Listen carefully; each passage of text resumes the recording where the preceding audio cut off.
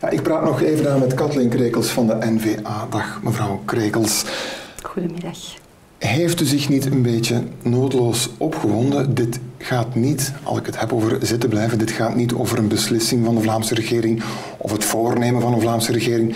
Dit gaat over een, een punt uit het verkiezingsprogramma van een lokale lijst, namelijk de lijst SPA Groen in Gent. En toch vindt u het de moeite waard om daarover in het parlement ja, tussen te komen?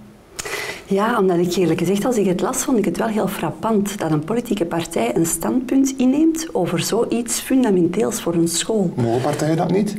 Ja, jawel, maar als zij dat in hun partijpunt of in hun partijprogramma opnemen, dan is dat een punt dat zij graag zouden verwezenlijken. Mhm. En ik vraag mij af of een bestuur in machten kan zijn om zo'n belangrijke beslissing, die hoort tot ook de filosofie en de cultuur waarin een school werkt, om zo'n beslissing op te dringen aan scholen. Want dan gaat dat niet alleen over de stadsscholen, veronderstel ik, maar ook over de katholieke scholen, de gemeenschapsscholen, over alle scholen die in die stad ja, die lager onderwijs georganiseerd zijn, ja, georganiseerd zijn en die dan ja, dat standpunt zouden moeten volgen. Ja, dat lijkt ik, heb, ik heb in de voorbereiding van dit gesprek uh, nog eens het, uh, het, interview met een, met een krant doorgenomen dat de Grenzenschepen uh, heeft gegeven. Ze zegt, het gaat niet om een formeel verbod, maar we willen wel de scholen sensibiliseren om zitten blijven ja, zoveel mogelijk ja, uit te stellen, of als het even, even kan, gewoon niet, niet toe te laten. Het gaat niet om een formeel verbod, maar om sensibilisering.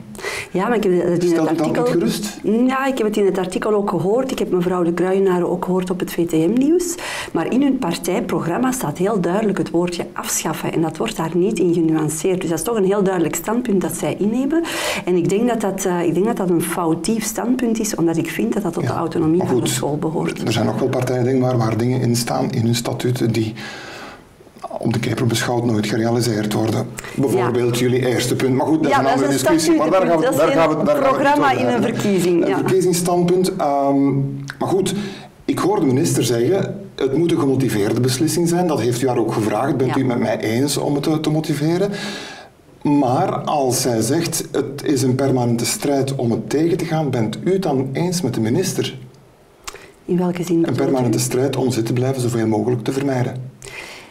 Ik denk dat men dat moet vermijden wanneer dat, dat kan. Dat is inderdaad ook zo. En ik ben er ermee eens dat het een gefundeerde beslissing moet mhm. zijn. En daarom dat wij ook in 2014 heel expliciet aan het CLB hebben gezegd van kijk, als de school zo'n beslissing overweegt, dan wordt het CLB meestal betrokken. Zorg dan dat het gemotiveerd wordt, een goede fundament, een goede motivatie is. En zorg ook dat de school een plan heeft met dat kind. Want als je een, een kind gaat laten een jaar overdoen zonder dat daar een plan achter zit, dan is dat inderdaad, dan gaat dat weinig efficiënt zijn. Maar als de school zegt van ik heb een plan, ja, ze weten nu, ze weten wat dat de inhoud is van het leerjaar, ze weten het lessenpakket en ze weten waarop het kind uh, faalt. Faalt is een slecht woord, waarop het kind vastloopt.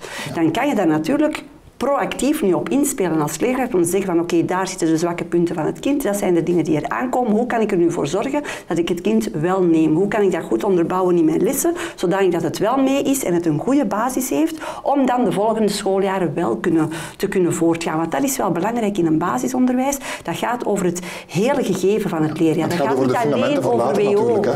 Ja, en het gaat niet alleen over wiskunde of over taal of over WO. Dat gaat over het feit dat de juf het gevoel heeft dat de volledige basis onvoldoende is om de verdere loopbaan met succes te kunnen aangaan.